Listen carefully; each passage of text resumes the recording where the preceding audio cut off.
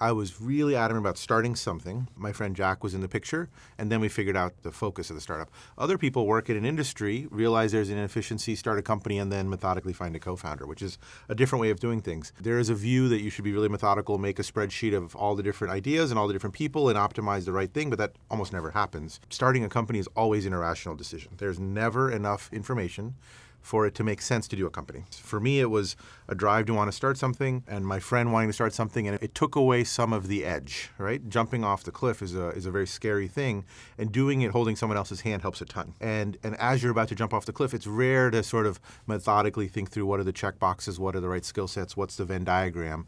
Rather, it's somebody who's willing to do it with you, and at the very beginning of a company, I mean day zero or, or day negative one, any um, kind of hold that you can grab onto to help climb this mountain is is really really helpful. A co-founder is that crutch, right? A co-founder is is the notion that hey, at least one other person thinks this is a good idea. Uh, at least I won't look stupid if it fails because there's someone else did it with me. It's going to be a roller coaster. He'll be on his roller coaster. I'll be on my roller coaster, and hopefully we won't be at the bottom at the same time. You could hope that you'll complement each other's skills.